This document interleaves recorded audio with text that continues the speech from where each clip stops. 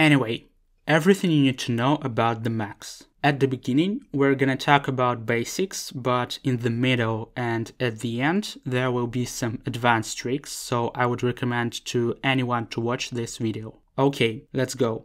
Mex is an abbreviation for minimum excluded, so the mex of a set is a minimum non-negative integer that isn't present in this set. For example, the mex of a set 1, 2, 3, 4, 5 is equal to 0 because there are no zeros in it. The mex of a set 0, 1, 2, 5, 10 is equal to 3 and the mex of an empty set is equal to 0.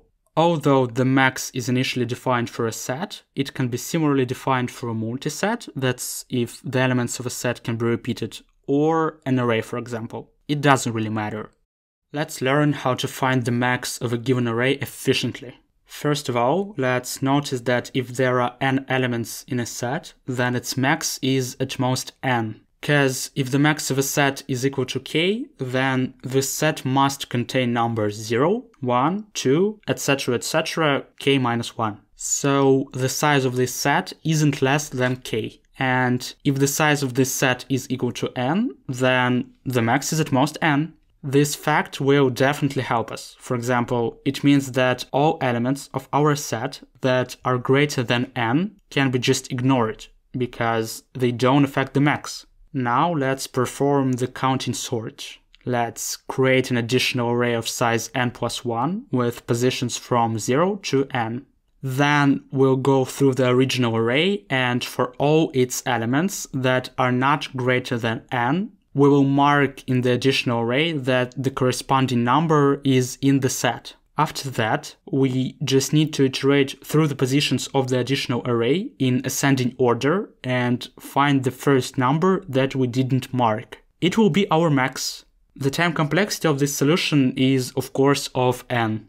Now let's learn how to keep track of the mex of a changing set let us have a multiset that is initially empty. And there are three types of queries. Add an element to our multiset, delete an element from our multiset, and find the mex of our multiset. We're gonna handle all these queries in O-of-log time, where n is the total number of queries. Let's make an std map where for each element we will store its number of occurrences in the multiset. Since the mex at any moment is less than n, we can use an array instead of a map. But it doesn't really matter because our time complexity is logarithmic anyway.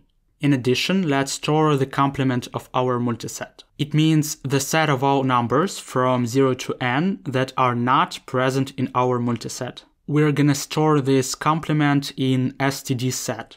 Initially, the complement set consists of all the numbers from 0 to n because our multiset is empty. Then, if an element is added to the multiset, we need to add 1 to its value in the map and remove it from the complement set if it's still there. Let's perform some queries. And if at some point an element is removed from our multiset, then we need to subtract 1 from its value in the map. And also if after that its value becomes zero, it means that this element has completely disappeared from our multiset, so it must be added back to the complement set. And if we need to find the mex of our multiset, we can just simply take the smallest element in the complement set, and it's gonna be the answer. This algorithm's time complexity is of n log n if the number of queries is n. This method can also be used even if we don't know in advance how many queries we're gonna have. In this case, we can't add all the elements from 0 to n to the complement set before all the queries because we just simply don't know n. But this isn't a problem. Let's initially add only 0 to the complement set and also maintain the number k, which means the number of queries that have been already made to our structure. Then at any moment, we will keep track of all the numbers from 0 to k. And since k requests were made, the mex should definitely be among the numbers from 0 to k when we get a new query, we execute it and then increase k by 1 since the number of requests has also increased by 1. Now we need to keep track of another new element, k plus 1. Let's look at our map and see whether this number is present in our multiset or not. And if it's absent, then we'll add it to the complement set. And if we made n queries, then at the end, k is equal to n, so the final time complexity remains of n log n. If the elements of our set are only being added and not being removed, then task becomes even easier. It can be now solved in constant time per query. Let's make an array or an ordered map in which for every element we will store whether it's in the set or not. And also additionally, we will support the variable k, which will be equal to the mex. Then initially k is 0, and if at some point we added number k to the set, then we need to increase the number k by 1 as long as it's in our set. So k will always increase, and for n queries, it will increase at most n times. The time complexity is linear. If queries are more complex than just adding an element to our set and deleting an element from our set, you may want to maintain a segment tree instead of std set. For example, if an entire segment of elements can be added to the set at once. Let's assume that in the segment tree ai is equal to 1 if the element is in the set and ai is equal to 0 if the element is not in the set. Then we just need to be able to find the leftmost 0. We'll store sums of subtrees, then the subtree is complete if the sum of the elements in it is equal to the length of the corresponding segment. And then we can just go down the tree to find mex. If you don't know what a segment tree is, there will be some articles in the description. It's also sometimes helpful to store numbers in a tree, try, tree, try. Tree, tree, tree, tree.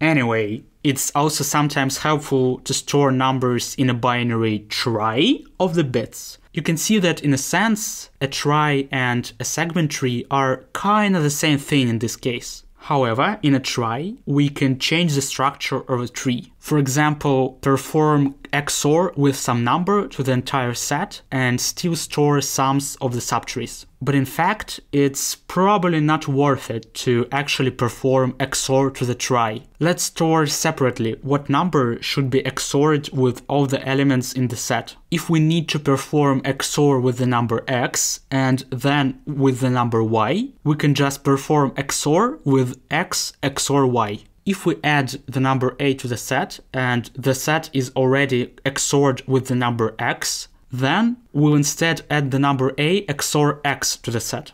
And then, to find mex, we need to go down the trie, but sometimes our children are swapped. If the number x has bit 1 on the position corresponding to the current level, then the left son is the right son and the right one is the left one. In fact, all the same stuff can be maintained with a simple segment tree, but sometimes the trie is still a more convenient way of performing some operations, although it's pretty much the same thing.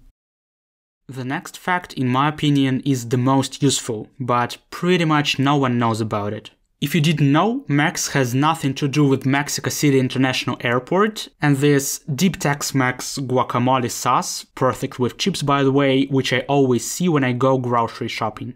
There will be a problem on this trick in the contest, so you can practice it. Okay, let's go on. There is also such a topic as games on cyclic graphs. If you don't know it, then it's worth studying. I will leave a link to the article in the description. In this theory, we say that every game on an acyclic graph is equivalent to a nim with some number of stones, which is called nimber. Then the nimber of any vertex can be calculated as the mex of the nimbers of all its children. This is probably the most natural place where the mex operation pops up. But of course that's not what I wanted to tell you about. I want to tell you about the following. Let's say that we have a game on an acyclic graph with n vertices and m edges. Then what are the maximum nimbers in it? You can probably guess that they will be not bigger than n minus 1 because any number is mex of no more than n minus 1 numbers, those numbers that are in the children of the current vertex. But this is not the best estimate. In fact, all the numbers in the game on the graph will be no more than square root of 2m. Why is it true? First of all, note that if the number of a vertex is a, then this vertex has a degree of at least a because a is the mex of the numbers of its children, so there must be numbers 0, 1, 2, etc., etc., a minus 1 among the children. So there are at least a children. Second of all, let there be a vertex v with a number k. Then, as we've already understood, it has children 0, 1, 2, etc., etc., k minus 1. But these vertices then have degrees of at least 0, 1, 2, etc., etc., k minus 1. And also, there is our vertex v itself, with a degree of at least k. So the number of edges in the graph isn't less than 0 plus 1 plus 2 plus etc etc plus k, which is k multiplied by k plus 1 divided by 2, which is bigger than k squared divided by 2. If we move the 2 to the other side and take the square root of the inequality, we'll get that if there is a vertex with a number k, then k isn't bigger than square root of 2m, which is exactly what we needed to prove. This idea can also be applied in the general case outside the graphs. If there is a set with the sum of elements c, then the mex of the set isn't greater than square root of 2c. Now let's move on to more advanced tricks. Let's learn how to search for mex on a segment of an array. Unfortunately, many people think that this can be done only in n square roots of n because this problem is often given as an exercise on the Mo's algorithm. But in fact, we can answer these queries in O of n plus q log n time using scanline plus segment tree. If you don't know these topics, then this part will probably be incomprehensible to you, but with the right amount of enthusiasm, you can learn them from the articles in the description. So, first of all, as usual, note that if the length of the array is n, then the mex of any subsegment isn't bigger than n, so we only need to track the numbers from 0 to n. Let's make a new array of length n plus 1, in which for each element we'll store the last position in the original array where that number occurs. Initially, all the positions are minus 1s. On this new array, we will build a segment tree on minimum, then we'll go through the original array with a scanline, adding elements one by one. When we get to the position i, we can answer all the queries whose right boundary is i. If the left boundary of the query is L, then we just need to find the smallest number whose last occurrence in our initial array is less than L. This will mean that this number doesn't occur in the segment. This can be found simply by going down the tree and choosing which branch to go every time. After we've answered all the queries for position i, we need to update that the number ai occurs at the position int and move on. Obviously, this will work in of n plus q again. Note that this solution is offline because we need to know all the queries in advance. However, as with any other scanline segment tree solution, we can make it online. To do this, we just need to use a persistent segment tree. However, if we have change queries in the array, then as far as I know, the segment tree can no longer help us. If I'm wrong, write it in the comments. If there are changes, then I can only solve this problem with a three-dimensional Mo's algorithm, and the time complexity is of n to the power of 5 thirds. It's the same as the usual Mo's algorithm, but in addition to the left and right boundaries, we also have the time variable. And now the block size isn't the square root of n, but n to the power of 2 thirds. And for the two variables that are inside their blocks, we consistently move the remaining one forward. You can read more about this algorithm in the analysis of one of the contest tasks. The link will be in the description. That's it for today, but I'm pretty sure I missed something, so I invite you to share your tricks, tips and ideas about what else everyone needs to know about the mex in the comments. And in the description, as always, there will be a link to the contest in which you can solve problems on this topic. In the nearest future, I'm gonna translate my other videos to English, so subscribe to this channel if you don't wanna miss them. But for now, you can check out my Russian channel. There are English subtitles, so you may try to understand what's going on. Thanks for watching. Have a nice day. Bye. Tree, tree, tree, tree, tree, tree.